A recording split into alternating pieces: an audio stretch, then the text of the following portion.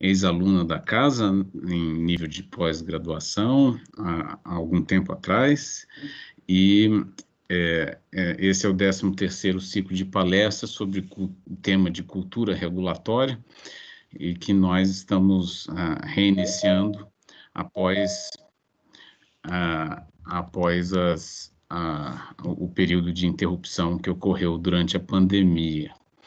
É, o primeiro tema é sobre transformação da cultura regulatória de telecomunicações. A palestrante é a doutora Carla Crossara e Kuma Rezende. Ela é superintendente executiva da Anatel, especialista em regulação de telecomunicações pelo Centro de Direitos da UIB. E, e é um prazer para para mim, até como diretor do centro, de é, é, apresentar a, a doutora Carla, que conhece como ninguém a prática institucional, os problemas, as soluções e, principalmente, como caminhou a Agência Nacional de Telecomunicações nesses, é, desde sua formação até hoje. É, é, é um privilégio para nós podermos ouvi-la e eu, sem mais delongas, eu passo a palavra à, à, nossa, à nossa palestrante, agradecendo novamente a presença e dizendo aos ouvintes que, é, assim, é, é, é que, que evidentemente ah, teremos aquele controle natural de, de eh, dúvidas e questões. Eu pergunto a Carla se ela, se ela se opõe a que as dúvidas ocorram durante a palestra ou se deixaria para o final. Professor Márcio, é, não, tenho, não tenho preferência. Acho que se, se surgirem dúvidas durante a apresentação, eu acho que se torna até mais dinâmico. Confesso que eu, eu particularmente, eu prefiro, acho que fica uma interação mais, é, mais, mais agradável, né? mais simpática. Então, se tiverem é, alguma dúvida no, no, decorrer, não tenho, não tenho problema não. A gente pode ir no decorrer da apresentação esclarecendo. Perfeito. Então tá, doutor, a doutora Carla, obrigado pela presença, seja bem-vinda. Esperava poder receber, poder recebê-la na, na, no auditório da faculdade, mas aqui nós temos já um público muito, muito importante, de mais de 100 pessoas para ouvi-la e estaremos aqui é, é, registrando esse evento é, reiniciando o ciclo de palestras que é tão importante para a formação dos nossos estudantes e para o, público em geral. Obrigado. Bom, primeiramente eu gostaria de agradecer. É, para mim é um prazer estar aqui é, e, e, ter aceitado esse convite do professor Márcio. É, eu acho que voltar voltar para estar presente aqui junto com vocês na, na, na UNB é é sempre uma honra.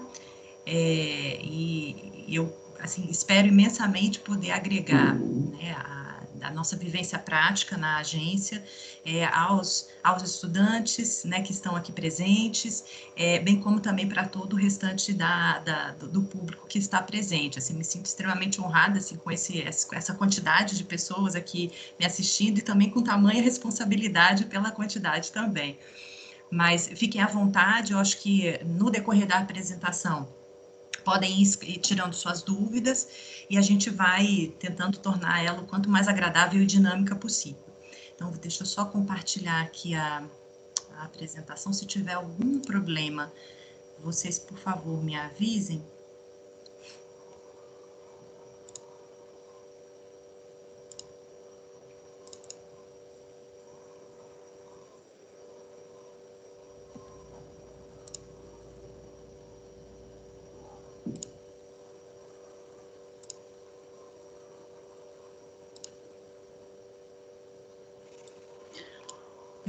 Estamos vendo a apresentação, é, mas não no formato de apresentação ainda, né?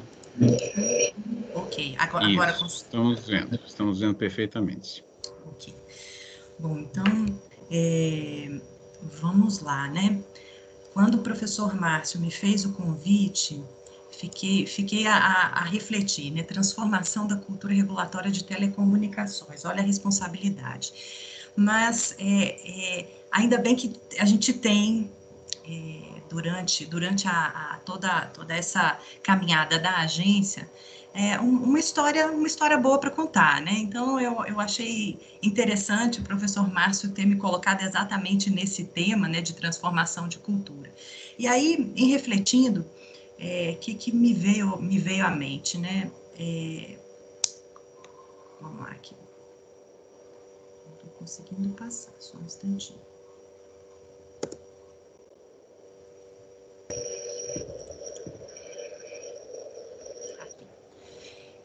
Cultura. Bom, o que, que é cultura, né? E aí eu fui, e vamos lá, eu fui dentro de uma busca é, livre em termos conceituais e, e, pesquei três, três conceitos né, do que seria cultura. Dentro das ciências sociais, dentro da filosofia, dentro da antropologia. E pescando as palavras que eu entendi que seriam assim mais significativas dentro dessas, dessas três vertentes, né, em termos conceituais, eu consegui destacar essas, essas, esses, essas palavrinhas de cada, de cada conceito. Aprendidos de geração em geração, contrastam com a natureza, o comportamento natural, e aprendidos e desenvolvidos. E daí que vem essa minha primeira observação em relação à, à transformação da cultura regulatória. Apesar daqui, né, esses conceitos não estarem especificamente tratando de cultura regulatória, eles acabam tendo uma correlação ainda mais significativa quando a gente fala de regulação. Por quê? É, a regulação, ela de alguma forma não é tão nova, mas diante de vários, vários outros institutos, é, em especial né, aplicados aqui na prática, né, no Brasil, ela tem sua, sua novidade, digamos assim. Então, é, temos é, aqui uma, um, grande, um grande item que a gente tem que levar em consideração. Aprendidos de geração em geração, esse contraste com a natureza e com o comportamento natural, e aprendidos e desenvolvidos. Então, uma cultura não se muda de um dia para o outro. Acho que esse é o grande recado né, desse slide. Essa cultura ela é construída aos poucos, ela é modelada com muito aprendizado, com muitos erros e acertos né, no, no, no, nosso caminhar. Especialmente no caminhar, né? E aqui eu sei que tem vários, vários estudantes, né, de direito administrativo, em especial no caminhar né, da administração pública, que tem seu caminhar muito peculiar, muito específico, não é um caminhar da iniciativa privada, então ele tem todo uma peculiaridade em termos temporais. E aí, falando em tempo, é, a gente é, a gente se coloca exatamente a pergunta, né? Como é que a gente consegue mais gol com o mesmo time? É, mais especificamente o time né, da, da, minha agência, né, da agência onde eu trabalho, da Anatel. E aí, fazendo uma, entre, entre aspas, né, uma anamnese regulatória, a gente chega a algumas, alguns temas, algumas temáticas muito importantes e muito relevantes para a gente conseguir esses goals, né, esses novos goals. Né? Chegamos a questões relacionadas à estrutura né, da agência como um todo, a questões dos dados sistematizados e evidências, e cada vez mais é, a gente vê que é, é uma tendência é, muito, muito significativa é, do, do direito administrativo a questão da é, políticas baseadas em evidências, estudo de dados, uma inteligência relacionada a esses dados para tomada de decisões. Então, esse foi um ponto bastante relevante quando fizemos essa anamnese regulatória. Temos também a questão do fardo regulatório, que também não é novidade, mas até por conta da questão cultural e do tempo que se leva, nós temos aí uma bagagem muito significativa. Então, esse também foi um ponto relevante que nos fez refletir é, nessa nova postura e nessa necessidade de transformação. Temos também um dos cernes da nossa atuação, que é a atuação fiscalizatória, o empoderamento do consumidor, que é, em último grau é exatamente quem nós queremos é, atingir em termos de benefício, e o nosso foco estratégico.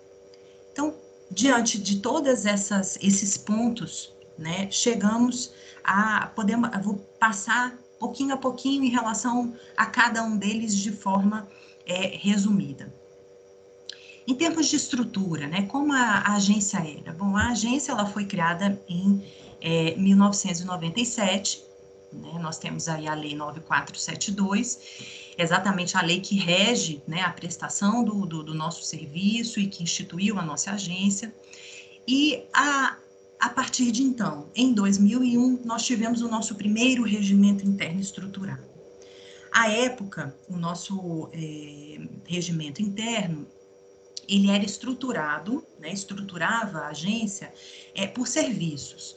E aí, esse serviço, essas, essa que é a estrutura que nós tínhamos, é, e temos aqui, né, na base dessa estrutura, as superintendências, é, as seis superintendências. Essas seis superintendências, como vocês podem notar, elas eram divididas em serviços, serviços públicos, a, a senhora, perdoa interromper, não está aparecendo no slide. Ah, só um instantinho, Felipe. Ué, deixa eu tentar então voltar aqui a apresentação. Eu pensei que, que você estivesse parado para falar dos casos específicos, mas realmente, né, foi... Uhum, deixa eu ver aqui. Uhum.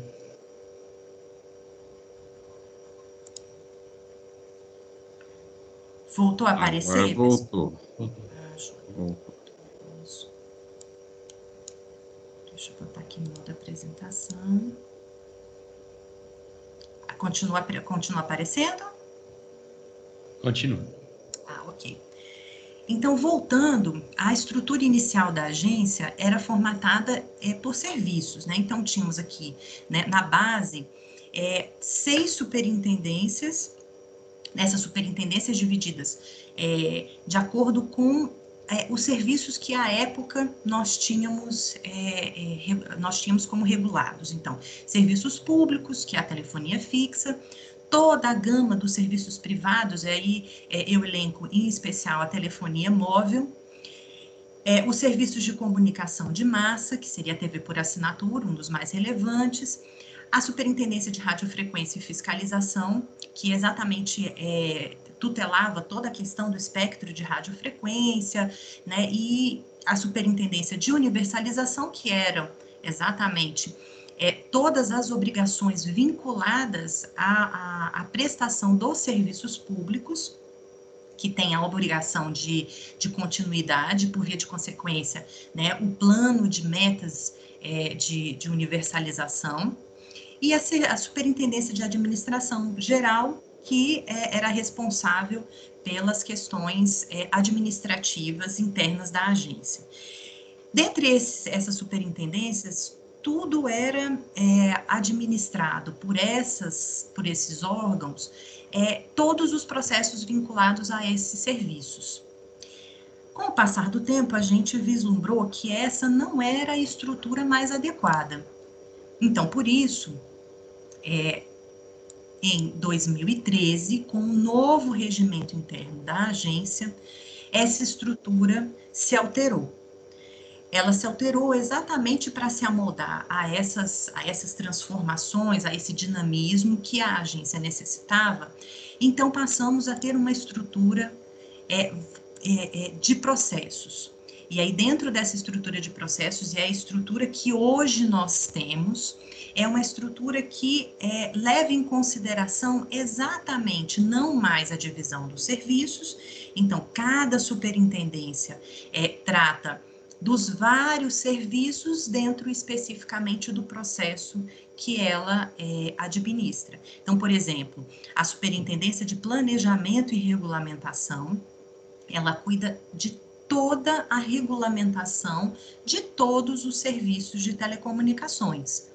A Superintendência de Competição, da mesma forma, ela administra todos os aspectos vinculados à competição de todos os serviços de telecomunicações. Então, passamos a ter essas, é, não mais nas seis superintendências, mas agora nós temos é, oito superintendências né, que administram é, é, por processos o setor. Então, esse, esse, eu diria que foi o, o, primeiro passo né, que a gente elencou lá atrás, da anamnese que eu comentei, em relação a uma primeira transformação da agência. Passando para o segundo ponto, é a questão dos dados e das evidências. Então, o que, o que, o que refletimos? Bom, como tomar decisões acertadas sem termos um suporte estruturado e seguro de dados. Então, nesse sentido, passamos aí para um, um, passo também relevante né, em termos regulatórios, que é a questão da administração e da incorporação de inteligência aos dados da agência. Hoje, como todos vocês sabem, nós somos um setor é, muito relevante, que tem muitos assinantes, muitos consumidores, né, que, que usufruem dos serviços de telecomunicações, então, nossos dados são é, bastante significativos. O volume de dados que a agência hoje administrativa é significativo em relação a, a demais setores. Então, passamos por uma transformação interna, né, dos dados internos da agência. Então, primeiro a gente arrumou a nossa casa. E aí, nesse sentido, é, tivemos 100% dos processos tratados por meio do sistema eletrônico. Então, todos eliminamos, eliminamos o papel, passamos todo para o sistema eletrônico e a partir da, dessa, dessa, dessa transformação, concomitantemente, toda a transformação e manipulação dos dados foi sendo estruturada em painéis interativos, em dashboards, para que internamente a casa pudesse ter um acesso estruturado, atualizado e seguro dos dados. Essa foi a transformação interna. Passamos então para a transformação externa da publicização desses dados.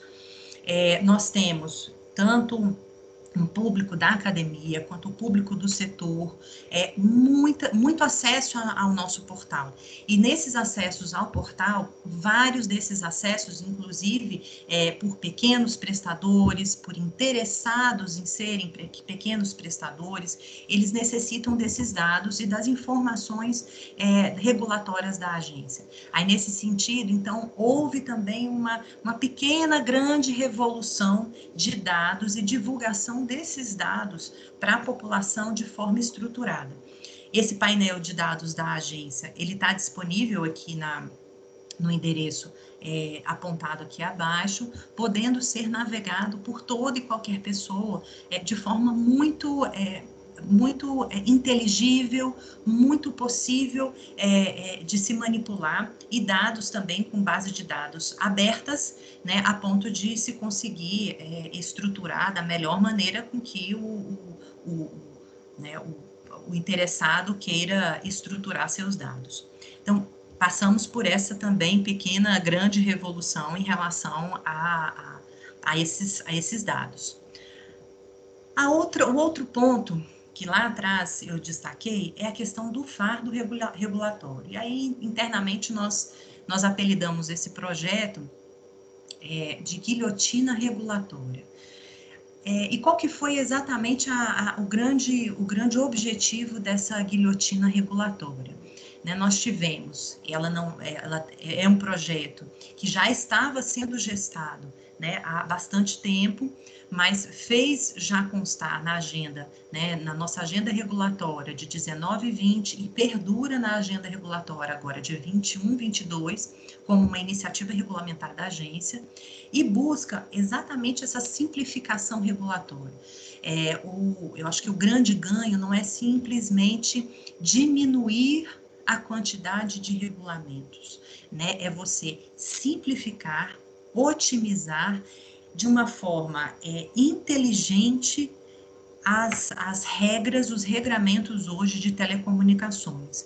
Então, focamos a regulamentação em grandes temas, né, que exatamente fazem essa comunicação direta com as demandas da sociedade, tendo uma, uma regulamentação ela mais diretiva, de um caráter político-regulatório, mais principiológico e, por via de consequência, mais perene sem entrar necessariamente em questões extremamente operacionais, que em especial no nosso setor, que é um setor extremamente dinâmico, logo se torna obsoleta.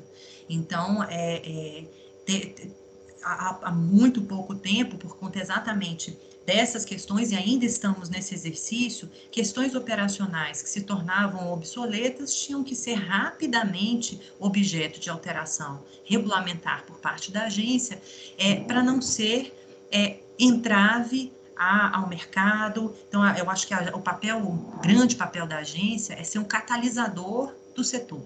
Né? Então, nesse sentido, é, quanto menos entraves, né, quanto mais principiológicas as, os regulamentos, mais possibilidade de investimentos, de ampliação de redes e, por via de consequência, de políticas públicas que chegam diretamente é, ao consumidor.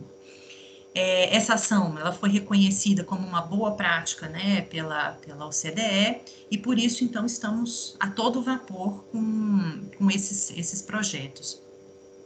Hoje nós temos, né, em termos de estatística desses normativos, né, nós tivemos até hoje, né, desde a criação da agência, 744 resoluções editadas, e aí eu faço um parênteses, né, é, as, as, os normativos da agência têm essa nomenclatura, né, por conta da, da, do nosso regimento, então são chamadas resoluções. Então, até hoje, editamos 744. Né, nós temos uma situação atual de que dessas 744, nós já revogamos expressamente 438 nesse trabalho. Então, quer dizer, 59% desse, desses normativos já foram revogados expressamente e estamos hoje com vigentes 39%, o que perfaz a quantidade de 291 é, regulamentos. E aí temos essa, essa perspectiva de futuro, né, de é, ainda avançando nessa linha de otimização desses, dessas resoluções. Nós temos a intenção de chegar em 453 é, revogações, né, e, e per, perfazemos um, um total de é, resoluções vigentes né, é, em torno de é, 119 ao final de todo esse processo. Nesse meio do caminho, nós já temos, então, 124 propostas de, de revogações e estamos ainda é, trabalhando em mais 43 é, propostas de revogações dentro da agência. Passando então para outra vertente, que também é uma nova, um novo olhar da agência, né? E, e nesse sentido, é, professor Márcio aqui é, é, é, é, é o nosso, a nossa, a nossa luz, juntamente com toda a equipe da UNB, nesse caminho né, de implantação da regulação dos princípios, né, da regulação responsiva na agência. É, não é uma, uma transformação é, de hoje, essa transformação, ela já vem sendo sinalizada, né, a sua necessidade, desde antes de 2015, quando em 2014, 2013, 2014, no nosso, nas discussões do planejamento estratégico da agência, é, já se identificava a necessidade da revisão do modelo de acompanhamento, fiscalização e controle da agência. Né? Já vislumbrávamos naquela época a necessidade de sermos mais ágeis, mais efetivos, mais assertivos. Então, nesse sentido, é, desde essa época, já estávamos num namoro intenso em relação à aplicação da, da regulação responsiva na, na nossa prática do dia a dia. E aí, como, como coloquei lá atrás, uma cultura não se muda de um dia para a noite. Né? Nós, nós temos aí dentro do quadro da agência, desde a sua criação e mesmo antes da sua criação, porque é, te, tivemos né, dentro do quadro né, de, de, é, de servidores da agência, vários ainda egressos do sistema Telebrás. Então, nós temos uma cultura cristalizada desde antes mesmo da criação da agência. Em termos fiscalizatórios, é, sempre tivemos uma cultura muito voltada para o comando e controle. E eu acho que isso é natural, não só para a agência, mas eu acho que para é, a maioria, se não a totalidade dos órgãos reguladores é, nacionais e inclusive internacionais que tinham muito como é, única ferramenta essa prática do comando e controle. E aí tivemos, né, a partir dessa dessa identificação e, dessa, e desse começo de namoro com a prática da regulação responsiva, toda uma fundamentação teórica que procuramos nos é, calçar, né, para termos é, toda essa explicação teórica para começarmos com o pé direito a aplicação da regulação responsiva na agência. Nesse sentido, é, nós tivemos toda uma estruturação em termos é, regulamentares, por meio da construção da análise de impacto regulatório, onde foram apontadas pragmaticamente todos os problemas que nós tínhamos, as alternativas a serem adotadas como é, solucionamento desses problemas ou mitigação desses problemas. Tivemos, então, a contratação é, da, da da, da UNB para nos, nos possibilitar todo esse, esse, esse fundamento teórico da aplicação da teoria. É, nos calçamos também em várias recomendações da, da CGU, dentro de um processo específico, que, em que também já apontava né, como um bom caminho a, a utilização da, da, da regulação responsiva, e, nesse sentido, cristalizamos todo esse trabalho numa proposta de regulamento de fiscalização regulatória.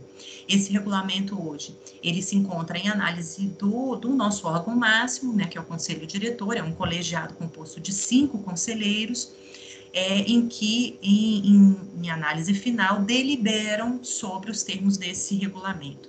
Esse regulamento ele já foi é, é, analisado pela área técnica e aí agora passa pelo crivo do conselho diretor para aprovação final.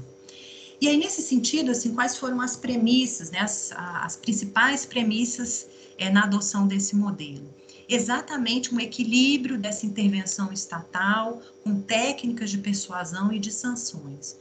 É, tivemos também é, todo um olhar né, especial em relação à regulação que incentive o regulado a cumprir voluntariamente, a questão do design de pirâmide, exatamente para é, possibilitar num primeiro momento, e aí, é, como o professor Márcio até, até gosta de, de enfatizar, é, sempre calçado num, num, relacionamento de muita confiança. A gente tem que, é, e é nesse trabalho de aculturamento do setor, aculturamento interno e aculturamento também dos consumidores, é, que a gente é, reforça esse, esse liame de confiança entre esses vários elos da cadeia. Eu acho que sem esse, esse liame de confiança, a gente certamente não, não conseguirá um trabalho efetivo, com bom resultado na construção e na prática da regulação responsiva da agência. Então, assim, existem grandes expectativas e, nesse sentido, a gente tem passo a passo, é, amadurecido nos conceitos, amadurecido nas, na, nas práticas, para conseguir, então, é, é, implementar toda essa ideia teórica da regulação responsiva. E aí, nesse sentido, nós já tivemos na agência alguns é, embriões, né? E antes disso, assim, a gente se deparou com algumas, algumas dificuldades, né? Nós, nós temos um artigo é, na, na, Lei Geral de Telecomunicações que torna obrigatória a sanção em caso de, de identificação de descumprimento. É, nós temos aí é, toda essa necessidade de aculturamento, né, dessa, de, dessa dinâmica de norma infração, todo descumprimento caracteriza uma infração. É, então, todo esse mindset tem que teve que ser e ainda está sendo é, muito trabalhado, né, e reconstruído, até diria reconstruído, porque é, de fato é, uma, é, é um retorno é, exatamente para se é, possibilitar as bases da aplicação da regulação responsiva. Nós temos, então, é, uma, uma obriga ainda mais, né, uma obrigatoriedade de, de autuação, é, mas também de um planejamento, um diagnóstico setorial e autuação por evidências, né, uma necessidade de, de revisão de, dos processos internos e da relação entre as áreas técnicas, e aí é importante até a gente destacar que é, houve uma, a necessidade de internalização nas áreas técnicas, que todas elas, na prática, já faziam atividades de acompanhamento. não só de. É, é, é, e que esse acompanhamento já era uma parte extremamente relevante da fiscalização lato senso. E agora, na prática de todos, é, é, de todos os, é, os ensinamentos, toda a teoria da regulação responsiva, todo esse acompanhamento antes né, de chegarmos num eventual sancionamento, é, trouxe ainda mais importância para todo esse processo de acompanhamento, controle e fiscalização da agência. Porque todas, todo esse conjunto de evidências, esse conjunto de é, tutela é, da reação do nosso setor, do, especificamente das empresas, em relação à reação da agência, todas essas reações elas passaram a ser é, ainda mais relevantes nesse contato e nessa aplicação da, da regulação responsiva. E aí tivemos é, sucesso de alguns pilotos né, em formato dinâmico, né, e, e estamos na, na, adoção paulatina né, desses, desses conceitos, é, sem nenhum abandono também das, das ferramentas até então utilizadas. Acho que esse é um ponto bastante importante. Acho que a gente sempre tem que ter em mente que a adoção da regulação responsiva, né, da regulação por incentivos, seja qual for o mecanismo que eu for utilizar, o órgão regulador ele tem sempre que é, agregar ferramentas, nunca abrir mão delas. Eu acho que é, a gente tem que sempre estar, tá, igual ditado, um, olho no gato, outro no peixe. Então, a gente, como órgão regulador, não, não podemos é, nos olvidar de sermos vigilantes. Acho que essa é a grande palavra, né? Temos que ser sempre vigilantes, utilizando o, a quantidade maior de ferramentas que é, é, é nos, é nos dada. E nesse sentido, nós temos alguns exemplos de embriões né, da regulação responsiva. Um deles, bastante significativo, que já está cristalizado né, em uma resolução da agência desde 2019, é o regulamento é, de qualidade da agência, que estabelece todo um modelo de gestão de qualidade para todos os serviços. Então, esse foi é, um salto bastante significativo de conseguirmos colocar na tutela de, desse regramento é, todos os, os regramentos de qualidade dos serviços. Ele é voltado, antes tínhamos uma situação em que é, a cobrança em termos de qualidade era ex, quase que exclusivamente voltada a questões técnicas e tivemos um salto de qualidade quando neste regulamento, além de agregarmos questões é, de percepção de qualidade do consumidor, é, também tivemos é, a, a, agregados outros mecanismos é, de empoderamento do consumidor e de possibilidade também de, digamos, competitividade de imagem entre as empresas do setor. Nesse sentido, foi é, estabelecida a, atribuição de selos de qualidade nas categorias de A a E, nos âmbitos municipal, estadual e nacional para essas empresas, de acordo com critérios né, desses de, é, incluídos no regulamento e algumas, é, eu diria, consequências, impactos, caso essa categoria, né, essa categorização desse selo de qualidade é, houvesse um rebaixamento por empresa.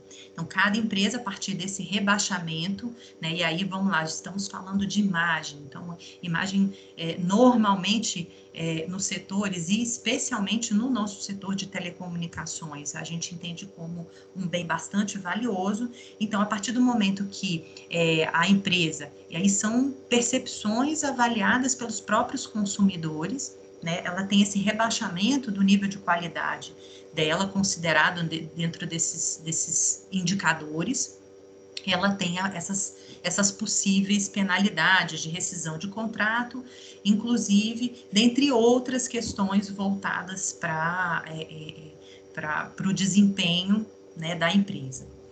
Além da, da questão do, do, do regulamento, nós tivemos também uma, um outro exemplo né, de, de um embrião da regulação responsiva, foi a prática é a implantação do Não Me Perturbe. O que, que é o que, que era, é o Não Me Perturbe? Né? Ele foi uma é, foi advindo de uma determinação do, do Conselho Diretor da agência em junho de 2019 para implantação né, pelas empresas de um cadastro em que as pessoas se cadastram é, solicitando que não sejam é, é, contactadas pelas empresas é, pelos seus departamentos né, de marketing, né, recebam ligações dos seus call centers, né, do telemarketing.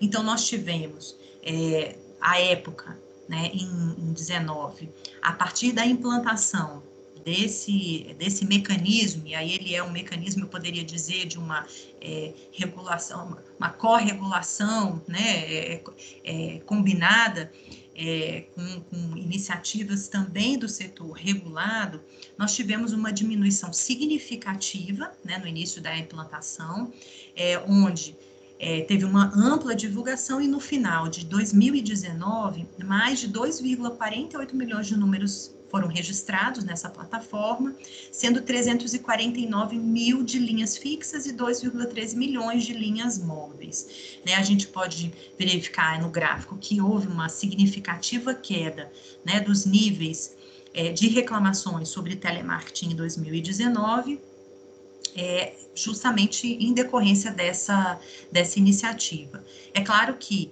uma iniciativa é, desse, desse porte, ela não se encerra nela mesma, né? Existem é, projetos para serem desenvolvidos ainda nesse ano na agência que é, catalisam a nossa, o nosso olhar e a nossa vigilância em relação a essas questões de telemarketing. É, não é uma questão, não é pontualmente em 2019 houve sim esse significativo, é, essa significativa redução das reclamações, mas ainda é um tema muito caro para a agência, né, que estamos, estamos atentos para que isso, é, essa diminuição de reclamação, ela se perdure no tempo em relação a, a, esses, a esses índices de telemarketing. Aqui temos é, outro, outra vertente, né, que é exatamente a, na linha do, do empoderamento do consumidor, né? Foi lançado é, em, no passado o aplicativo Anatel, Anatel Comparador. Esse aplicativo ele foi desenvolvido é, exatamente para oferecer para o consumidor de serviços de telecomunicações mais uma ferramenta de transparência, possibilitando uma comparação das ofertas de telecomunicações disponíveis na região por prestadora né, presente na região. É, eu, particularmente, eu posso dizer de experiência própria, assim, eu já, já usei a ferramenta é, e, e, usei para os meus pais que não moram aqui, moram em outra, em outra cidade, e, e, e pude ter, assim, benefícios extremos, porque é, na ferramenta era indicada exatamente uma oferta que pelo, pelo telefone da prestadora essa oferta não, não, era, não era ofertada, e eu contrapus em relação ao que estava no, no aplicativo e realmente pude usufruir da oferta que lá estava. Então, eu acho que cada vez mais, em uma agência, ela, é, uma agência reguladora, ela não, não é, deve regular para si mesma. Muito ao contrário, ela tem que regular exatamente para criar é, essa rede de suporte e que melhor rede de suporte que não os consumidores. E nesse sentido, é, como obrigação da agência, é dar mecanismos de empoderamento para esse consumidor,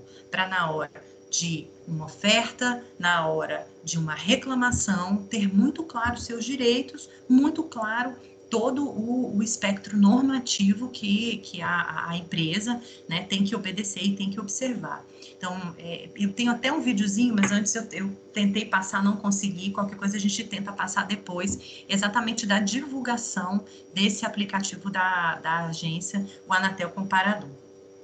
Nessa linha também, né, de melhorar essa interface é, com, com o usuário, é, também foi aperfeiçoado. Antes tínhamos um sistema de reclamação do consumidor denominado Focus. Hoje nós temos o Anatel Consumidor, é, que foi transformado para ser ainda mais inteligível, é, ter uma acessibilidade ainda melhor, ter uma plataforma mais simples, mais amigável, mais intuitiva e também é, ter essa possibilidade de ser um canal é, digital. Temos aí um cadastro, né? E aí eu trouxe várias inovações aqui, eu elenquei apenas três, mas assim, o seu cadastro foi simplificado significativamente é, teve uma valorização da opinião do consumidor no sentido de criar uma, uma, uma possibilidade do consumidor avi, avaliar o tratamento que foi conferido pela operadora. E teve também a, a, agregação da figura da divulgação de indicadores e rankings do atendimento realizado pelas empresas dentro do próprio, do próprio aplicativo. Então, mais uma ferramenta para um empoderamento ainda maior do consumidor na relação e no usufruto do, do, dos serviços de telecomunicações. E aqui, por último, é, como é, uma das vertentes né, da, daquela anamnese regulatória que eu comentei no início da apresentação, é, nós tivemos também um, um, incremento, a partir do ano passado, é, de sete indicadores estratégicos no nosso planejamento estratégico da agência. É, o que dizer é, de, é, da atuação regulatória se a gente não tem muito claro aonde queremos chegar, o que queremos alcançar. E aí, nesse sentido, é, esses sete indicadores, eles são muito, é, muito significativos é, do que a agência é, quer trazer de benefício para o setor e para a população. Aqui nós podemos elencar né, esses sete. É, o, o, primeiro, a cobertura com rede de transporte backhaul fibra ótica. Então, quer dizer, incremento de infraestrutura para que cada vez mais a população seja, seja é, viabilizada para a população o acesso ao serviço de telecomunicações com qualidade, com velocidade, né, com capacidade exatamente de, de, de receber. Ah, o, segundo, o segundo indicador, uma velocidade contratada né, de banda larga cada vez maior, e aí vocês é, podem verificar em cada um deles nós temos a linha base de 2019 e a meta que nós queremos chegar em 2023. Todas essas metas, eu acho que é importante destacar, são metas alinhadas com é, o plano plurianual né, do governo federal. Nós, nós temos também como, indica, como terceiro indicador né, o percentual de população coberta com serviço de banda larga móvel. E, a, e, e nesse período, inclusive, de pandemia, né, que nós é, estamos vivenciando um período singular, né, toda a infraestrutura de telecomunicações foi ainda mais inserida no nosso dia a dia, no nosso cotidiano. Isso nós, é, nós podemos é, é, vivenciar e, e, verificamos o quão importante e o quão relevante é, em especial, a questão do acesso à banda larga móvel ou fixa de qualidade.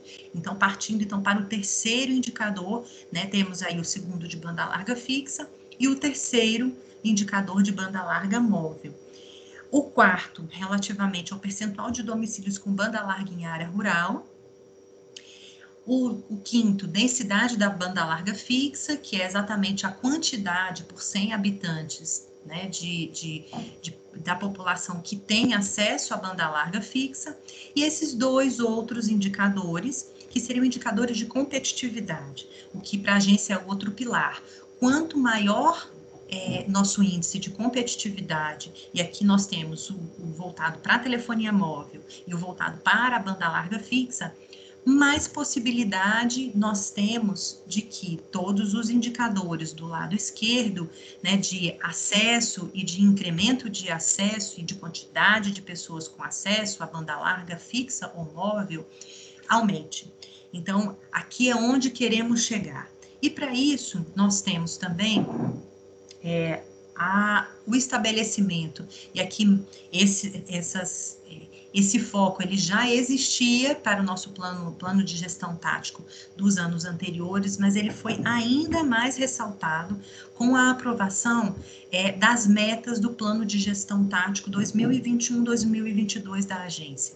E aí a gente já vislumbra é, muito do, das da, da, cristalização das transformações que eu citei anteriormente. Como vocês podem ver nessa meta 1, nós temos a, a, a ampliação de propostas de substituição de multas por medidas de obrigação de fazer. Então, exatamente nessa linha de tentarmos é, é, trazer mais investimento para o setor, e aí, né, nesse sentido, nós temos, estão cientes que esse não é um mecanismo puro de regulação responsiva, mas é um mecanismo que já é, tem um embrião de um incentivo para que isso aconteça, na medida em que a agência, nos processos é, sancionatórios, faz uma, uma proposta dessa substituição de, ao invés da empresa, em decorrência de um descumprimento, efetuar um pagamento de multa, substituir essa multa por uma medida de obrigação de fazer. Na maior parte das vezes, é, exatamente voltadas para ampliação do acesso e para a qualidade dos serviços. Então, é, as obrigações de fazer hoje já implementadas para a agência e já acatadas pelo, pelo, pelo infrator, elas são voltadas para levar o serviço em municípios que não tinham o serviço, ou que não tinham telefonia móvel, ou que não tinham telefonia móvel 4G, ou infraestrutura que suportasse esses serviços. Na meta 2, nós temos exatamente um, o prazo né, de, de, de, cumprimento das ações de fiscalização regulatória, e aqui é importante dizer, já não trabalhamos mais com o conceito de fiscalização é, estrito senso, que seria essa fiscalização em que o fiscal vai é, em loco, em campo, né, fiscalizar, mas trabalhamos com esse conceito mais amplo de fiscalização regulatória também incluindo as, as questões de acompanhamento de cada órgão da agência redução do tempo médio de expedição dos atos de outorga, que também isso é, é importantíssimo para a parte competitiva. Quanto mais outorgados temos, né, regulares e prestando o serviço de forma regular, mais competitividade é incrementada. A questão da revisão dos atos de condição de uso de radiofrequência, na linha exatamente da, da guilhotina regulatória, da otimização do regramento hoje que a agência tem é, a atualização de 100% dos modelos de empresa eficiente para determinação dos custos, e aí é uma questão muito voltada né, para a parte competitiva relacionada a preços. Então, nós temos hoje toda uma estrutura de modelagem de custos para é, serem referência né, para os preços de atacado né, da, da agência que são aqueles preços que são cobrados entre as empresas de telecomunicações ou em, entre empresas de telecomunicações e empresas de outros setores que compartilham infraestrutura. Temos também como meta a redução do nosso índice de reclamações, e dentre, dentre é, as, as, as iniciativas que alavancam essa, é, essa redução de, de reclamações, nós temos várias iniciativas vinculadas a ela a ampliação e consolidação da regulamentação por temática, que está em linha com todo aquele espírito da guilhotina regulatória que falei anteriormente. Temos também a, o aumento da presença da Anatel nas redes sociais, né, por meio do incremento do número de posts em redes sociais, exatamente para conseguirmos é, dar mais visibilidade e mais empoderamento ao consumidor, mais é, comunicação do papel da agência né, no setor, para que então é, o consumidor empoderado, a imagem institucional da agência forte, né, consigamos então ter bons resultados para todos os entes do elo da cadeia do setor. Então, essa questão é bastante importante, né, a, a, a gente entende que, inobstante sermos é, uma agência reguladora de telecomunicações, muito ainda temos que é, aperfeiçoar na nossa comunicação institucional. E, e nesse caminho estamos é, bastante empenhados com muitos projetos né, de aperfeiçoamento dessa comunicação é, da, da, agência para os consumidores e para o setor como um todo o aprimoramento do nível de governança institucional, e aí entram aspectos como integridade, como transparência, é, como go governança institucional interna, né, que seria a comunicação fluida entre todos os níveis da agência, do conselho diretor até o nível técnico e vice-versa, a modernização de 100% dos sistemas ou aplicativos digitais priorizados no nosso plano né, de, de digital. Então, temos, estamos aí caminhando para o máximo possível termos aplicativos para comunicar bem e comunicar melhor, porque a gente sabe que cada vez mais a população se utiliza da telefonia móvel, né, para fazer todas as suas interações, né, com,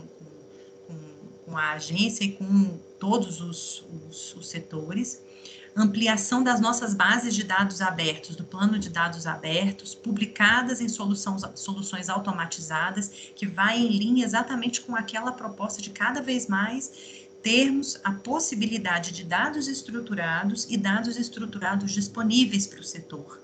Né? Isso para a gente é, é, também é um ponto bastante, bastante importante. E temos ainda mais três outras metas mais vinculadas à parte interna e administrativa da agência.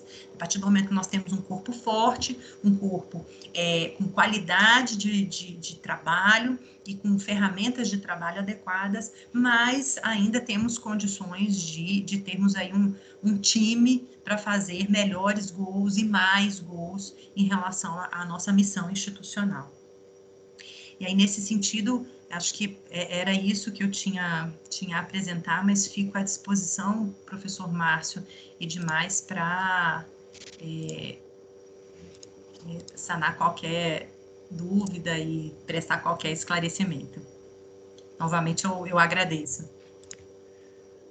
Bom, doutora Carla, muito obrigado. Foi uma excelente apresentação. Eu imagino ah, é, essa relação que fez com a questão da cultura, é, de fato, é, é era algo até que é, nem, eu nem esperava, eu esperava a apresentação institucional da agência, que já traz tantas informações relevantes sobre o, o ponto da, da mudança da, da, de atuação da agência nesses últimos anos. Né? É, é, até a presença do Luciano Charlita na, na audiência mostra um dos pontos centrais né, de que tem chamado a atenção aí fora de outras agências, que é a, é, que é a possibilidade de uso de, de é, é, é, obrigações de fazer em substituição à aplicação de sanções. Isso tem sido muito comentado em outras agências, como que a Anatel tem instrumentos à sua disposição que as demais agências, em geral, não, não disciplinaram. Né? Mas também eles têm pouca é, é, experiência do trabalho que houve para que esses instrumentos pudessem ser aplicados. Né? é, desde esse instrumento que, que, que pode parecer algo tradicional para o direito, né, como uma obrigação de fazer em substituição a obrigações é, a, a, imposições é, sancionatórias, mas que quando são quando ingressam dentro de uma esfera regulada, bem estruturada, com procedimentos e processos já tradicionais, é, envolvem inúmeras dificuldades de cunho jurídico que, é, e de cunho operacional mesmo, né, e de planejamento. Então, isso aí foi um avanço muito grande na, da agência. Eu, eu falo aqui como suspeito, no caso, por estar estudando a temática, a agência foi uma, é, de fato, contribuiu para que a, o estudo da da regulação responsiva pudesse atingir aqui em Brasília e, e tem é, razão para dizer no Brasil outros patamares. Né? É, é, é, é, um processo difícil. Né? É, é, o, o, projeto que envolveu a envolve a Universidade de Brasília e patrocinado pela Anatel, ele é um processo complexo que se concentrou muito na, em, em, em bloqueios institucionais de ordem jurídica a, a, implementação de modelagens regulatórias, então nós ainda estamos nessa fase de implementar uma regulação responsiva quando não podemos implementar todas as medidas. Então, as modelagens elas têm que sempre carecer de algum aspecto fundamental que está sendo bloqueado por interpretações jurídicas é, que impedem é, uma maior discricionariedade por parte do agente público em, em, em tomar decisões que, segundo uma, as, as, teorias comportamentais, né, é, efetivamente mudam o comportamento do regulado. Né? É, é, outras agências e a própria Anatel né, têm tentado contornar essas dificuldades, criando novas novas formas de atuação responsiva. É, é, então, é, é, é, o Brasil sempre com essa com esse desafio, né, de, de tentar é, acompanhar os países desenvolvidos em, que já estão aplicando modelagens regulatórias mais avançadas, mas é, é, já é, eles têm que, o Brasil tem que partir na corrida com uma, uma pedra amarrada na, no, no, no, no, no, pé e ainda chegar em primeiro lugar, né? Então tem tem tem tem -se essa expectativa uh, que às vezes não é realista porque as nossas próprias instituições acabam bloqueando uma aplicação de uma modelagem plenamente responsiva e estruturada. Né? É, é, é, foi muito importante essas, essa, esses, esse, essa pesquisa com a agência, no sentido também de evidenciar como que outras agências têm avançado, por exemplo, com a questão da modelagem por riscos. Né? E essa modelagem por riscos ah, é, tem, sido, tem sido utilizada para que se possa fazer aquela classificação na pirâmide regulatória das diversas, uh, das diversas uh, posturas do regulador frente ao comportamento global da empresa. Né?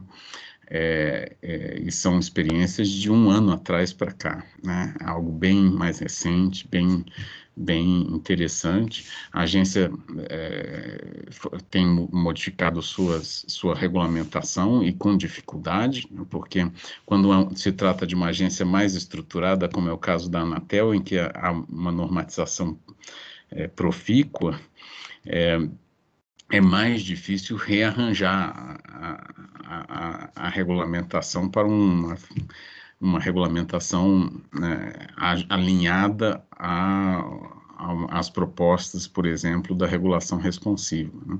Então, há diversos aspectos, eu, é, é, é, a Carla me conhece, eu poderia passar muito tempo aqui falando, né, como se eu fosse o, o ator né, central desse, dessa, do dia de hoje, mas é, é, eu, eu, queria ressaltar quão, quão uh, sucinta foi a apresentação, né, conseguiu reunir os principais aspectos de alteração de cultura organizacional da Anatel.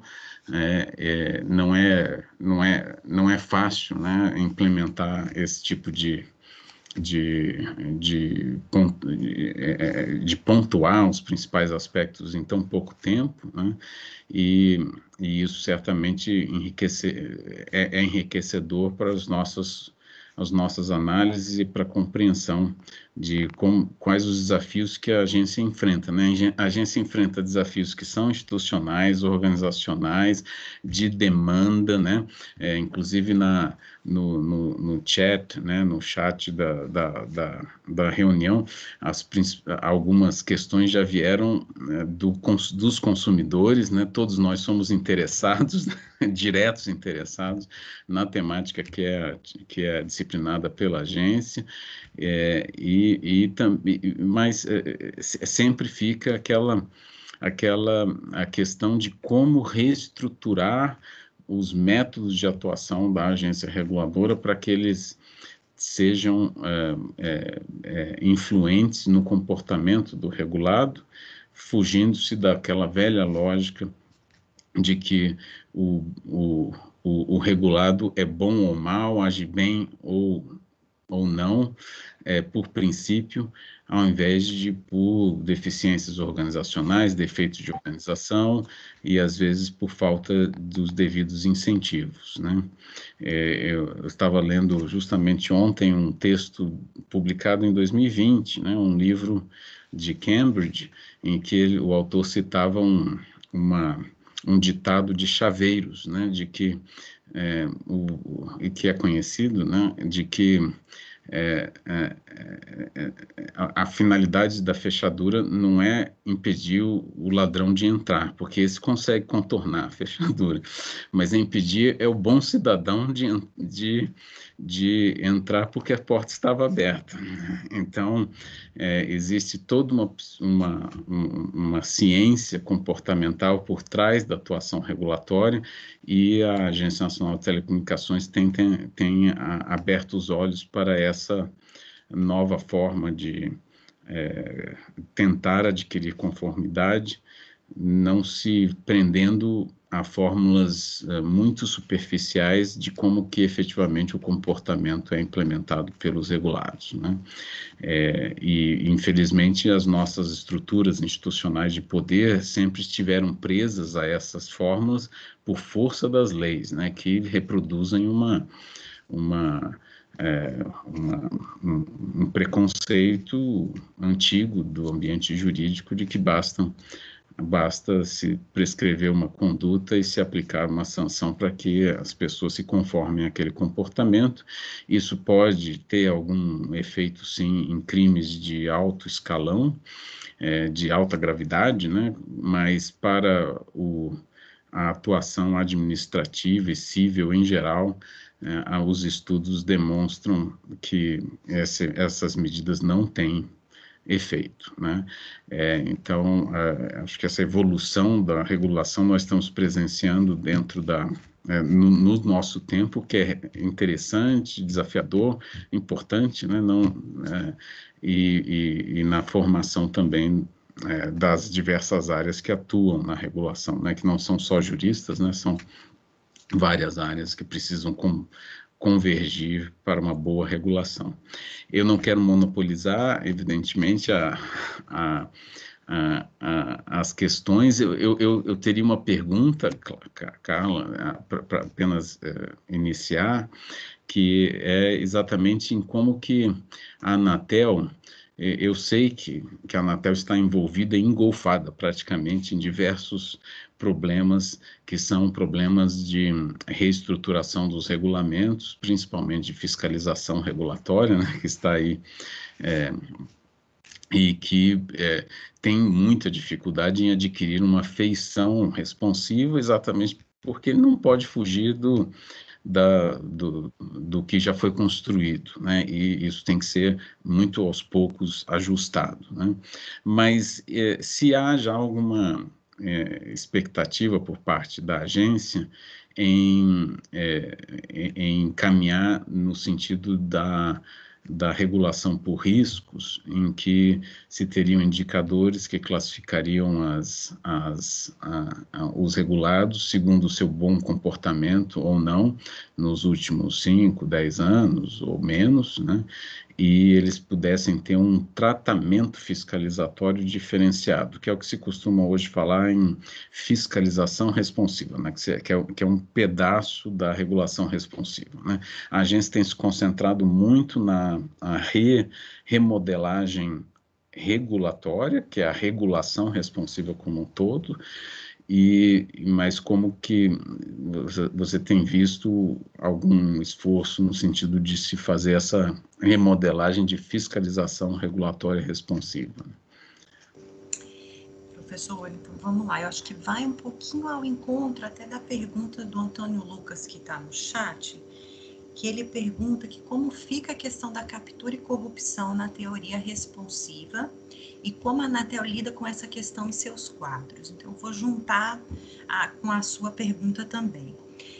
É, pensamos sim na questão de, da estruturação né, com níveis de risco, com eventuais alarmes em relação a essas alterações de postura das empresas, é, mas ainda estamos numa fase extremamente embrionária, né, porque é, como, como os nossos embriões, né, os nossos testes, os nossos pilotos de, é, de, regular, de aplicação da teoria da regulação responsiva ainda estão no início, é, não estamos é, estamos, está no nosso norte, mas ainda não está na nossa prática do dia a dia a consideração da, da a, a, existência dessa estrutura de riscos em relação à postura das empresas. Mas nesse sentido, até respondendo que, o questionamento do Antônio Lucas, como que eu entendo que a agência é, adota postura para que é, para evitar a, uma eventual captura? é, cada vez mais é, que a agência estrutura os dados que ela tem em relação às temáticas de regulação responsiva, aos acompanhamentos dessas temáticas de forma estruturada e formalizada, mais nós temos é, ferramentas de é, é, é, conformação da nossa atividade dentro da, da, dentro da prática da regulação responsiva. E aí, qual seria o mecanismo que eu entendo é, de principal é, é, comprovação de que inexiste essa captura? A partir do momento que eu tenho os dados de que num acompanhamento eu tenho uma empresa X com uma postura é, totalmente diferente de uma empresa Y, eu tenho a possibilidade de, como regulador, atuar de forma diferente com a empresa X da empresa Y. Então, isso é que nos dá insumo, e nesse sentido, assim, esse processo da, de estruturação regulamentar, né, da regulação responsiva na agência, é, nós tivemos quando, quando esse processo foi analisado pela nossa Procuradoria Federal Especializada, esse ponto foi um dos pontos extremamente relevantes da nossa discussão, porque a partir da aplicação da regulação responsiva, é claro que se imputa um, um, um espectro de discricionariedade maior. E a partir do momento que nós somos órgãos públicos, né, da administração pública, servidores públicos, é um, um norte muito claro e uma obrigação muito estrita, né, dentro dos termos legais, toda essa discricionariedade, de alguma forma, é, mesmo aumentada, ela tem que ser calçada em dados para nos, nos dar total conforto de poder a, atuar de uma forma diferente quando eu tenho uma empresa que me respondeu é, de uma forma melhor do que para uma outra empresa que não me respondeu de uma forma melhor. Então, assim, seria exatamente essa possibilidade né, de atuar na medida do que me foi respondido. Então, é nessa, nessa, nessa linha, Antônio Lucas, que eu entendo que é, é, estruturamos de uma maneira é, muito, muito segura essa total ausência de, de, de, de captura, né, com essa formalização nesses tratamentos, é, mesmo que sejam tratamentos diferentes, porque eles têm essa, essa diferença exatamente de responsividade na condução dos mecanismos. E, e sim, professor Márcio, eu acho que assim, para a gente seria, eu acho que um ganho é, muito grande termos a estruturação né, de riscos dessa é, dentro né, da, da estrutura.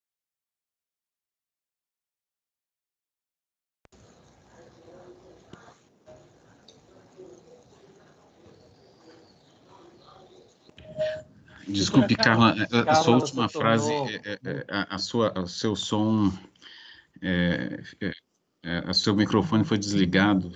Ah, desculpa. Você puder repetir a última frase, foi só a última frase. É. Ah, sim, a, a, última frase seria no sentido de é, termos como norte, sim, a, a, essa estruturação dessa, é, desses mecanismos de identificação de riscos, com classificação, inclusive é, construção de alertas, hoje ainda não é uma realidade para a gente, por conta do nosso nível de maturidade né, em, em regulação responsiva, mas certamente é, é a gente namora bastante essa possibilidade de ter isso institucionalmente instituído. E eu, eu vi também, professor Márcio, o Antônio Lucas colocou uma pergunta se isso já está em vigor. Como eu estava é, projetando a apresentação, eu não sei exatamente sobre qual assunto que ele questionou. Se eu não me engano, foi sobre o. Uh, sobre o Anatel Comparador, Antônio Lucas? Oi. Alô, estão me ouvindo? Sim. Estamos. Ok.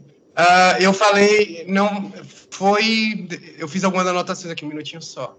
Uh, foi a questão dos selos. Eu perguntei assim, e isso é uma coisa talvez mais, a pergunta específica foi quando a senhora, está parabenizando aqui pela apresentação, falou dos selos de qualidade e a, a influência disso com o consumidor que tinha no slide dizendo que o selo D e E daria a possibilidade. Assim, eu, claro, pode ser ignorância apenas da minha parte, mas tanto essa iniciativa quanto dos outros aplicativos, do Anatel Comparador e do Anatel Consumidor, é, eu, não, eu não tive conhecimento, não chegou até mim por nenhuma forma. Mas, como eu disse, eu não sei o quanto isso está imbuído na, nessa estratégia da Anatel. Assim, eu, eu não vi claramente a questão da, Assim, tem os portais, tem a publicização, mas eu não vi a questão do, da divulgação, talvez, assim, de, dessas iniciativas pontuais. Mas, mais uma vez, pode ser apenas uma ignorância minha. Ah, eu, se eu puder fazer mais alguns comentários, que aí eu, eu não falo mais. É, ah, uma outra coisa assim que eu falei, a senhora citou quando citou o Anatel comparador, a senhora citou que a senhora viu uma oferta, ligou, não estava disponível e conseguiu, de alguma forma, com a empresa que ela fornecesse. Só que eu não sei se isso é realidade para a maioria dos consumidores. Assim, consumidor é uma relação de consumo entre o consumidor e a empresa, mas ele está em desvantagem. Se o atendente que está ali no telefone diz, não, não tem essa oferta. Ah, mas eu vi. Ah, deve estar desatualizado. Então, eu não sei se seria o caso, talvez, de deixar essas coisas mais claras no aplicativo. Eu até baixei aqui, comecei a olhar agora durante a sua apresentação, mas talvez é, explicar, tipo, os seus direitos, se você encontrar algo aqui que não for oferecido. Mas, enfim, é, o que eu queria dizer, tipo, nem todos têm a argumentação necessária quando estão negociando.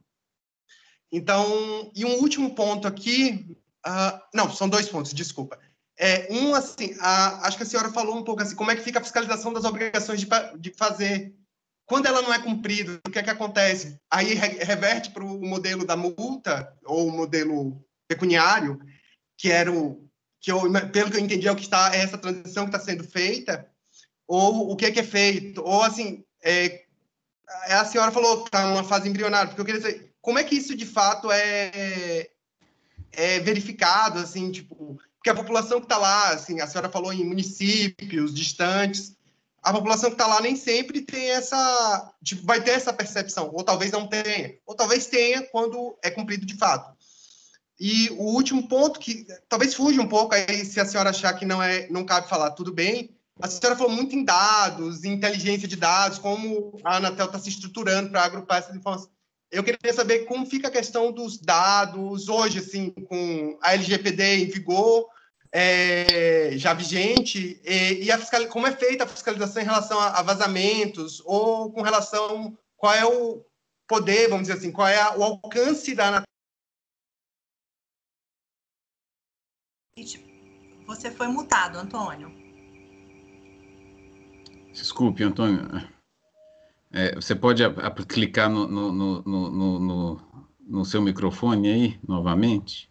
Desculpe, é, eu vou voltar ao último ponto. A, a senhora falou muito em dados, inteligência de dados.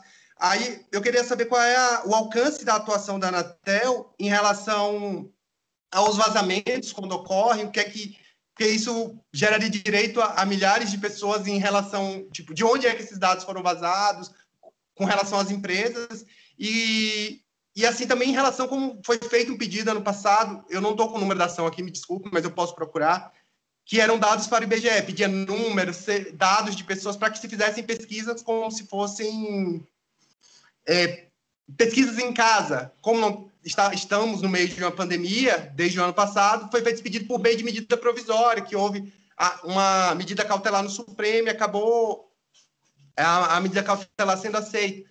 Então, assim, eu me pergunto qual é o alcance do Anatel, assim, em relação ao próprio governo e outras estruturas, para poder trabalhar em cima de pedidos como esse, que, que são dados, né, que são sensíveis da população em geral. Desculpa se eu falei muito. Não, obrigada, Antônio. Bom, vamos lá. Vamos começar, vamos começar do primeiro ponto que você colocou sobre os nossos aplicativos, né? É, os nossos aplicativos, quando do lançamento, nós fizemos uma ampla campanha. É, mas é claro, eu acho que é, até, até em relação a esse ponto né, que eu coloquei, a gente, apesar de ser uma, uma agência de telecomunicações, a gente ainda precisa aperfeiçoar a nossa comunicação. A gente precisa aprender a vender melhor o nosso peixe. Então, assim, a parte do aplicativo Anatel Consumidor e o aplicativo Anatel Comparador, todos eles já os dois já estão disponíveis, tá? É, na minha apresentação, inclusive, tem, é, salvo engano, eu coloquei o link e ele está disponível na, na, nas lojas, né? Nas principais lojas, tanto, tanto iOS quanto Android. Então, os dois já estão disponíveis. Em relação a aquela classificação do ranking de qualidade das empresas, este regulamento ele já está é, já foi aprovado, mas a vigência dele agora está numa fase em que é, é, ele tinha todo o regramento estabelecido e tinha ainda uma fase de vacácio legis dele para poder fazer uma estruturação exatamente dos níveis técnicos e de qualidade que se, que se pretende é, como compulsórios para as empresas. Então, a, ainda neste momento, aqueles selos de qualidade ainda estão nessa fase de vacácio e vão começar a viger é, só a partir do segundo semestre desse ano. Então, ele ainda não está não tá vigente, tá, Antônio? Mas, assim, ele está sendo, sendo formatado todo o detalhamento técnico dele para que, então, ele passe, a, passe a, a, a vigorar. Em relação, acho que a outra pergunta que você fez foi em relação é, à parte da LGPD e a posição institucional da agência. Vamos lá, eu acho que é importante é, é, esclarecer o seguinte ponto. É, o foco de atuação da LGPD, ele é em dados pessoais.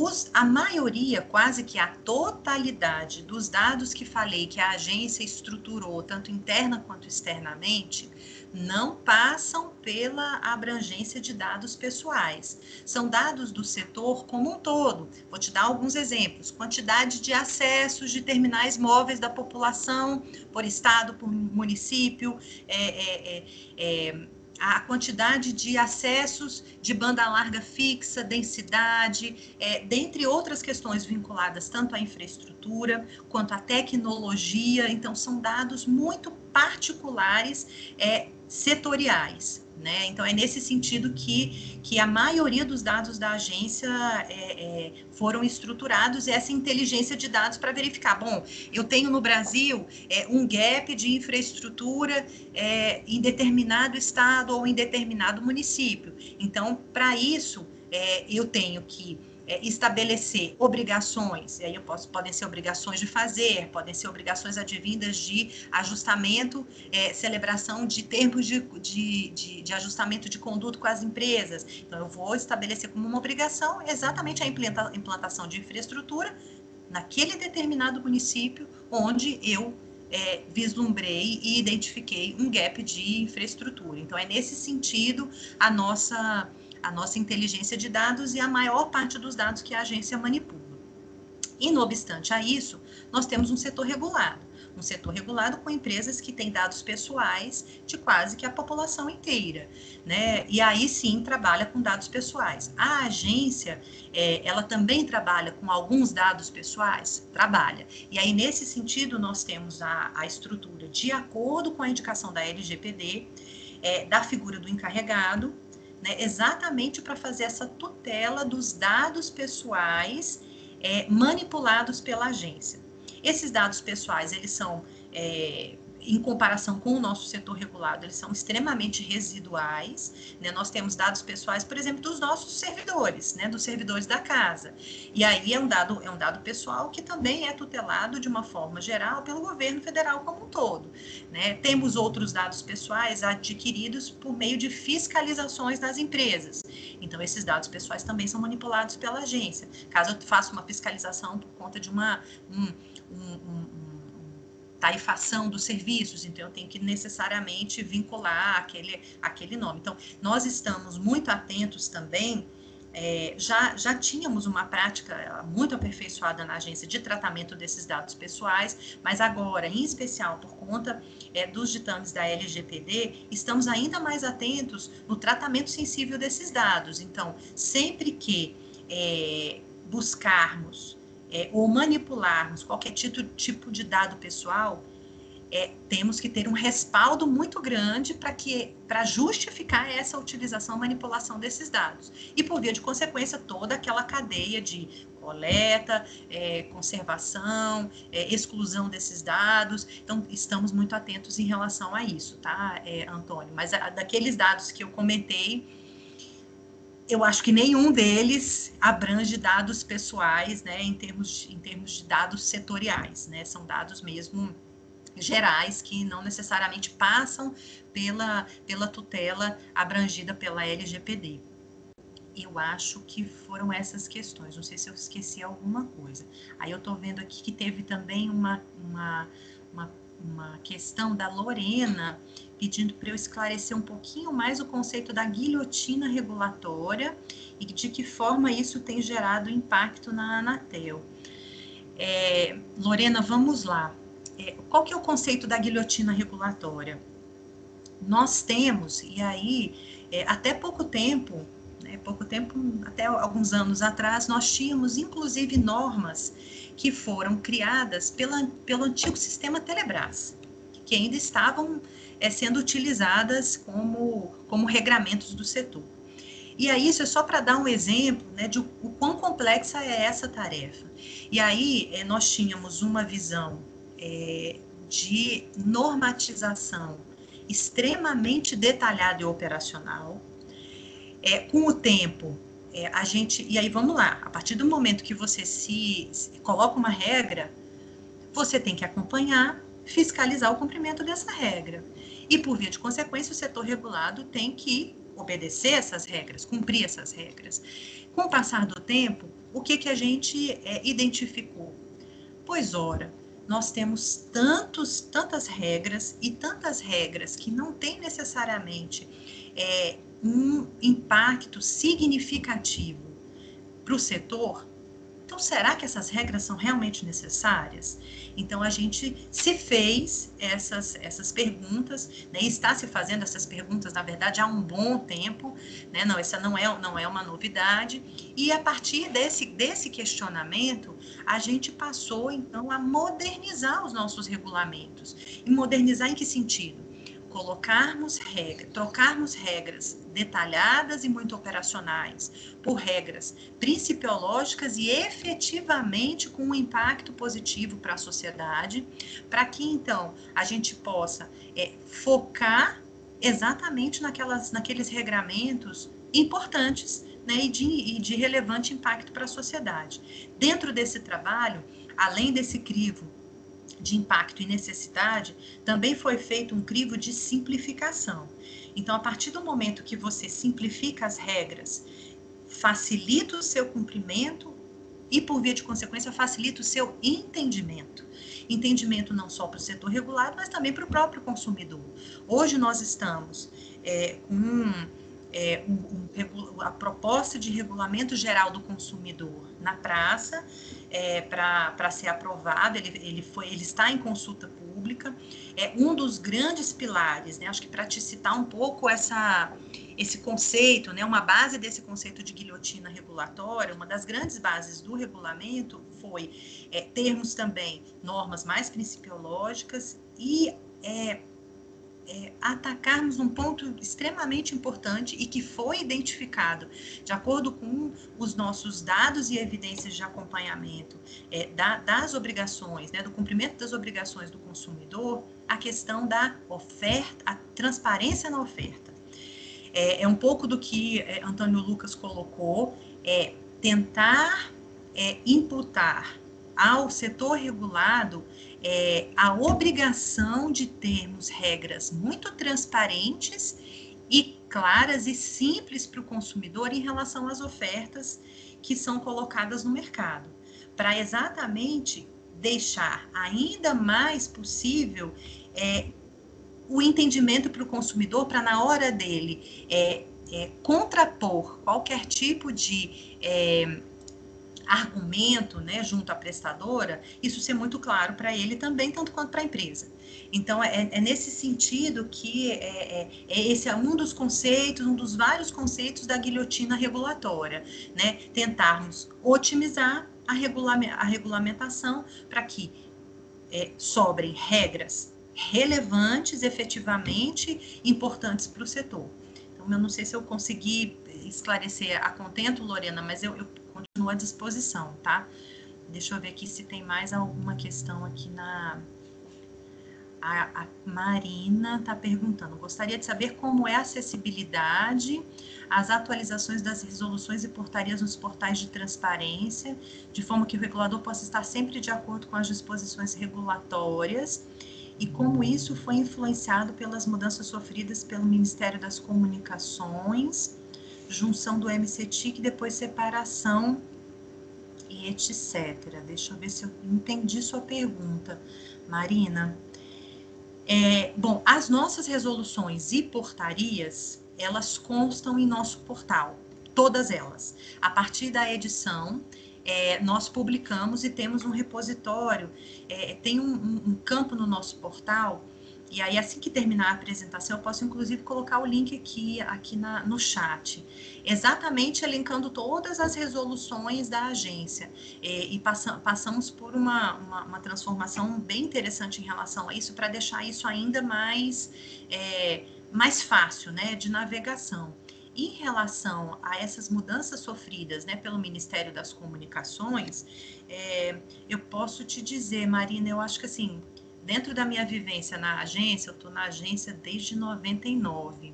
Já passamos por algumas mudanças de gestão no ministério, de formatação da estrutura do ministério, e assim, essas mudanças elas são sempre absorvidas. Eu acho que é, é faz parte a agência reguladora. Ela foi criada é, para ser um, uma agência. Nós temos essa vinculação, né? Na verdade, é, o termo adequado nem é esse, a vinculação. Nós nós temos essa é, é esse, esse, essa, esse relacionamento com o Ministério das Comunicações ele, eu entendo que quanto mais é, é, é, profícuo essa, esse relacionamento com o Ministério, melhor para o setor, melhor para a regulação setorial, é, e isso a gente, a gente busca sempre manter esse diálogo muito constante com o Ministério, independentemente dessa, das transformações estruturais que porventura aconteçam, que elas são naturais dentro da, em especial dentro da administração pública direta. Agora, dentro da estrutura da agência, e eu acho que essa essa é uma das belezas do modelo das agências reguladoras, é, essas alterações estruturais dentro da, da do, do, Ministério, né, que temos relacionamento, é, elas acontecem de uma maneira um tanto quanto transparente para a gente, né, porque a estrutura em si da agência, é, mesmo alterando a estrutura do Ministério das Comunicações, a nossa estrutura não se altera, né? Via de regra, nós, o, a, a, gente não tem alteração. Dentro da, do nosso regramento, nós temos é, os cinco conselheiros que têm mandatos é, fixos e que eles se alternam entre si. Então, é, não, não é porque altera né, a governo federal que necessariamente se altera a composição completa da agência, né? Eles são é, mandatos alternados exatamente para se manter, né, uma, uma estrutura é, segura de, de governança dentro da, da agência reguladora. Então, não sei se eu respondi sua pergunta. Eu, eu vi aqui que o Fábio. Fábio. Isso. O Fábio, Fábio pode, quer, quer falar, Fábio? Doutora Carla, é, é sobre o Não Me Perturbe. É, aparentemente, os números estão atualizados, porque eu não acredito que somente 2 milhões de pessoas tenham pedido para não serem perturbados pelas, pelas operadoras, já que é, é muito caro para o consumidor ficar sendo interrompido constantemente por ofertas que não interessam. E é muito barato para a empresa porque em geral eles mandam colocam um robô para fazer isso. Nem se dão o trabalho de colocar uma pessoa. Então é muito barato para eles muito caro para a gente. É, nesse aspecto é, eu acho que funciona muito bem. De fato depois de registro nessa plataforma para, para ele receber ligações da, das operadoras. Mas, por outro lado, por exemplo, eu tenho serviço da NET Claro e tive que fazer um pedido de eh, manutenção. Aí veio um técnico de uma empresa terceirizada. E essa empresa terceirizada não é a NET Claro. E depois desse, dessa visita, eu passei a receber duas, três ligações por dia de robô perguntando como foi o atendimento. E no final, a última pergunta é: você gostaria de, você gostaria de receber outra ligação sobre isso? A gente diz não. Mas mesmo assim, não, não consegue bloquear. Então, a minha pergunta é: seria possível a Anatel bloquear ligações de robôs para os, consumidores? Por quê? Porque para a empresa é muito barato ficar colocando robô perturbando a vida do, das, das, pessoas. Mas a gente constantemente interrompido. Agora que está trabalhando em casa, por exemplo, você está trabalhando, recebe uma ligação, você tem que se levantar para pegar o telefone e é um robô, aquele mesmo robô que já ligou ontem, anteontem, na semana passada, e, e torna um inferno na vida da gente. O que é possível fazer com relação a isso? Então, vamos lá, Fábio. E aí eu vou te dar até dados mais atualizados do Não Me Perturbe, tá? É, por isso que quando, quando eu passei por esse slide, eu até, até destaquei que ainda continua sendo um, um, uma temática é, no nosso foco. Por quê? É, quando o Não Me Perturbe foi lançado, logo, logo no período subsequente, realmente houve uma baixa significativa de reclamações. Só que essa curva, com o passar do tempo, ela foi se alterando um pouquinho. Então, essas reclamações elas já foram tendo um, uma elevação em relação a, ao ganho que se teve de diminuição logo a, a, ao lançamento da plataforma. Então, o que, que acontece? É, a questão de telemarketing está no norte da agência como uma temática de fiscalização regulatória a serem a ser adotadas medidas para esse esse ano esse ano corrente. Justamente porque é isso que a gente a gente tem verificado. As reclamações voltaram a subir um pouquinho em relação a essa temática. Então certamente necessita de uma atuação mais significativa novamente da, por parte da agência. Em relação a uma atuação mais incisiva em relação aos robôs, aí é o nosso, é o nosso dilema cotidiano, tá, Fábio? É, nós temos aí uma balança muito sensível entre intervir e é, provocar alguma alteração em termos de é, é, postura das empresas.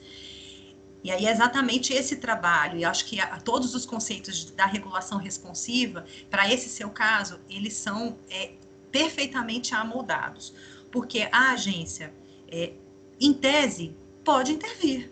Ela pode intervir é, de várias formas. Só que é, a, uma das premissas né, que é, a gente tem quando a gente considera a intervenção é que toda intervenção tem um impacto. É, e a partir do momento que a gente intervém especificamente é, numa é, evolução tecnológica, é, a gente sempre olha com um, um, olhar bastante cuidadoso. Porque da mesma é, é, é, igual a gente vê, eu sempre faço, eu gosto de dar esse exemplo. É, infiltração de água. Infiltração de água. Eu acho que é a pior infiltração que tem, porque ela é escondida. Então, às vezes, determinadas intervenções que possamos adotar como órgão regulador pode ter impactos imprevistos. Então, a, adotarmos uma postura de impedir o robocall talvez não seja a melhor solução, porque talvez o mercado se adapte de uma maneira tão rápida e tão perniciosa que a nossa intervenção vai ter impacto mais negativo do que positivo. Então, nesse sentido, a gente está bastante atento a, esse, a esses movimentos de telemarketing, mas o que eu posso te dizer é, não necessariamente a melhor solução é impedir o robocall, mas talvez é tutelar mecanismos que possam, é, de uma maneira mais natural, criar um caminho melhor e mais benéfico para o consumidor nessas interações das empresas com ele. Então, é isso que eu poderia te, te dizer em relação a essa intervenção direta, especificamente ao Robocop. É, eu acho que os avanços tecnológicos, como o robô para te telemarketing, eu acho que deve ser é, é, uma, uma, ferramenta válida quando economiza os recursos de uma empresa que tem que receber muitas ligações e solucionar muitas demandas. Mas esse do, do, do, da ligação ativa, que o robô liga para sua residência, é uma falta de respeito absoluta e, e realmente deveria ser proibido.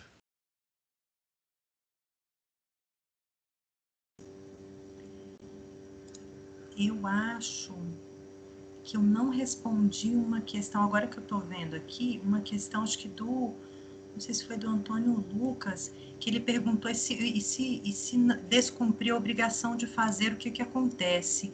Esse, esse é um mito importante que, desculpa, eu esqueci, tá? Se ele não cumprir a obrigação de fazer, vamos lá, a obrigação de fazer ela é como qualquer outra obrigação. Então, ela vai ser fiscalizada pela agência. Descumpriu, ela vai ter que pagar a multa. A multa correspondente a, a, ao, ao, que seria é, imputado caso ela, ela não é, não aquecesse com a alternativa do cumprimento via obrigação de fazer, tá, Antônio? Então, é só para esclarecer esse ponto que eu, desculpa, eu tinha, é, tinha esquecido na resposta. Tem mais, tem mais duas perguntas, da Bárbara e do Felipe. Acho que com essas nós encerramos, né, Carla? Você consegue ver no final do chat? A Bárbara, né? Vamos lá, Bárbara. Alguma das metas estratégicas da Anatel abrange a universalização dos serviços de telecomunicações, como o aumento do percentual de domicílios em, com banda larga em área rural. Eu queria saber se a Anatel tem um papel específico de, traçar metas e fazer planejamentos para universalização desses serviços em lugares como áreas remotas, fronteiras, hospitais, instituição de assistência à deficiência, entre outros, que, se não me engano, devem ser custeados pelo FUST. Vamos lá, Bárbara. É, nós. É, aí, aí acho que a gente vale até a gente, em termos conceituais, fazer algumas diferenciações, tá? Nós temos dois, dois conceitos importantes. O conceito da universalização, e aí, em termos técnicos, universalização ele só se aplica para serviços prestados em regime público, que atualmente exclusivamente só abrange a telefonia fixa. Dentro desse conceito de universalização, nós temos, até por imposição legal, que estabelecer o plano geral de metas de universalização. A responsabilidade de elaboração desse plano é da agência, mas de aprovação é do executivo, do Poder Executivo. Hoje nós temos, e recentemente, recentemente foi inclusive aprovado o Plano Geral de Metas de Universalização 5, né? Lá dentro nós temos é, as metas voltadas à universalização da telefonia fixa. As metas estratégicas que eu mostrei no slide, elas são voltadas o que a gente chama de ampliação ou massificação dos serviços, né? Não necessariamente se confundindo com o conceito de universalização que é exclusivo da telefonia fixa. Então, dentro, dentro daquelas metas, a gente tem o estabelecimento é, de, de regramentos que suplantam a telefonia fixa e que estão mais voltados tanto para a telefonia móvel quanto para a banda larga móvel e a banda larga fixa. É, em relação ao FUST, e aí que vem, o Fundo de Universalização de Serviços de Telecomunicações, até muito pouco tempo, ele era exclusivo para a, a universalização da telefonia fixa, que, era o, que é o serviço prestado em serviço em regime público. Recentemente, por meio de uma alteração da lei do FUST, essa, esse escopo né, da, do fundo de universalização ele foi ampliado, possibilitando também que ele seja utilizado para ampliação de ou de infraestrutura ou de acesso também dos serviços prestados em regime privado. Essa alteração é relativamente é, recente, né? ela, é, ela não tem ainda a regulamentação é, dela pronta, já efetivada, então ela carece dessa, dessa regulamentação para poder, então, ser utilizada para os serviços privados também. Mas ela houve essa ampliação de escopo que para a gente é, é extremamente é, profícuo, tendo em vista que, que hoje, né, inclusive dentro das políticas públicas do governo federal, é, não é a telefonia fixa que está no centro da, da, do, do, anseio da sociedade por via de consequência das políticas públicas, e sim a banda larga fixa e a banda larga móvel. Então, isso vai possibilitar certamente né, que após a, a regulamentação terminada, é, seja um, um, avanço né, em termos financeiros para poder utilizar esses recursos também para ampliação é, da banda para banda larga fixa e banda larga móvel. Eu estou vendo aqui agora a pergunta do Felipe. Seria possível a extensão da proteção promovida hoje pelo Não Me Perturbe para um âmbito geral, para além das parcerias da plataforma, uma perspectiva jurídica de reconhecimento dessa proteção como inerente ao direito do consumidor, fora de um embate como, como, com, com o princípio da liberdade econômica?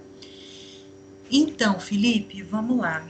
É, dentro do escopo é, do nosso setor regulado, é, é, o que a gente conseguiu. Então, eu acho que é, é possível uma ampliação disso para os outros setores? Eu entendo que sim, e essa iniciativa, de alguma maneira, ela até já aconteceu em alguns setores. A gente sabe que já, já existe é, ferramenta parecida com essa para o setor bancário, é, e também já foi é, implantada por, por iniciativa de alguns PROCONs também essa iniciativa. Mas dentro do nosso setor, é, especificamente, justamente por conta do escopo da agência, né, da, da agência reguladora, não teria como a gente fazer essa expansão é, sobre a nossa, única e exclusivamente sobre a nossa tutela, né, e sobre a tutela do nosso setor, porque essa ferramenta, ela foi é, imposta pela agência, mas construída pelo setor de telecomunicações para o setor de telecomunicações. E aí isso foi feito, inclusive, à época, é, uma, uma pesquisa, né, é, junto a, a, outros setores e a gente vislumbrou que o setor de telecomunicações era um setor significativo em relação à quantidade dessas chamadas de telemarketing. Então, por isso que a gente entendeu que, que seria é, uma ferramenta importante. Agora, é, quando você fala de embate com o princípio da liberdade econômica, é, eu estou entendendo que daí seria uma, uma, aí já seria uma questão de é, bloqueio total né, da, da, possibilidade da utilização das ferramentas de telemarketing. E aí, como eu coloquei para o Fábio, é, é, isso, eu acho que é, a, a, grande beleza da, da atividade regulatória, e o grande, é a beleza, mas ao mesmo tempo é o grande desafio, é exatamente conseguir ponderar é, a intensidade dessas intervenções. Né? Eu acho que não é, não é não é desprezível a consideração de um bloqueio total de uma atividade econômica de tal relevância, né, como o próprio telemarketing, que apesar de ser uma ferramenta que por vezes, como o Fábio colocou, é, perturba as pessoas, também é uma ferramenta de divulgação da prestação do serviço das empresas, né, não só das empresas de telecomunicações, mas como no seu comentário, das outras empresas de prestação de serviço também. É, dentro dessa perspectiva, existem é, existe um nicho de prestação de serviço, existe um nicho de empregos envolvidos com isso, e realmente é toda uma cadeia né, de, de atividade econômica envolvida, envolvida nisso. É, que, que, em última análise, pode ser, até a depender da extensão e, e do formato da intervenção, até prejudicial para o próprio consumidor. Né? Então, é, é, dentro dessa, é, dessa perspectiva que, a, que o órgão regulador tem que ponderar com muito cuidado o, o como fazer a intervenção e a, a intensidade dessa intervenção também, né? Bom, é isso, né, é isso, é. Muito obrigado, doutora Carla. Eu acho que nós temos que ser é, corretos com o tempo que fixamos. Eu adoraria discutir a questão da captura, né, porque, a meu ver, o Estado brasileiro está capturado pela lógica de resposta automática e refletida a qualquer é, prática de infração e a regulação responsiva, pelo contrário, liberaria o Estado dessa captura, né? Inclusive, o TCU reconhece né, o percentual, pelo percentual ínfimo de implementação de sanções com que é, o Estado brasileiro tem sido dirigido né, a, a investir pesadamente em uma atividade que não que é dirigida pelo infrator, né? Então, quanto mais o, o, a empresa que decide onde que o Estado hoje precisa investir, que pessoal e o que fazer, né? E, e justamente a regulação responsiva tenta liberar o Estado dessa captura presente na nossa nosso modelo, né? É, é, foi super interessante, a exposição né, é magnífica, obrigado pela, pela, pela generosidade, doutora Carla estar aqui presente conosco. É, está, estamos inaugurando o 13º ciclo com chave de ouro e né, tivemos mais de 150 participantes aqui e eu agradeço a presença de todos. É, estaremos, está, a, a, tentaremos em, é, disponibilizar né, a palestra para o público em geral. É, enfim, muito obrigado e, e, e nos, nos, despedimos aqui. A doutora Carla gostaria de, de, de falar as, as palavras de encerramento. Professor Márcio, mais uma vez eu agradeço imensamente o convite. É, foi um prazer para mim, eu espero que é, de alguma forma eu, eu, tenha, tenha agregado valor, né, especialmente para os seus estudantes, porque eu acho que essa, esse, esse contato com, com os, os, gestores, os executores, eu acho que nem sempre a gente tem essa possibilidade na, na época da faculdade, e assim, eu acho que é aí que está é, essa beleza do ciclo de palestras, eu acho que traz, traz um pouco da teoria né, para a realidade do que a gente hoje está fazendo, é, eu fico à disposição, agradeço demais também a todos os presentes que são servidores da agência, é, que fazem com que tudo isso que eu comentei seja realidade e que possa realmente ter esse benefício final para os consumidores. Me coloco à disposição e sempre, sempre que vocês precisarem, estarei aqui para os apoiar e fazer qualquer tipo de contato aqui com a agência. Um bom dia a todos, viu? Bom dia. Até logo.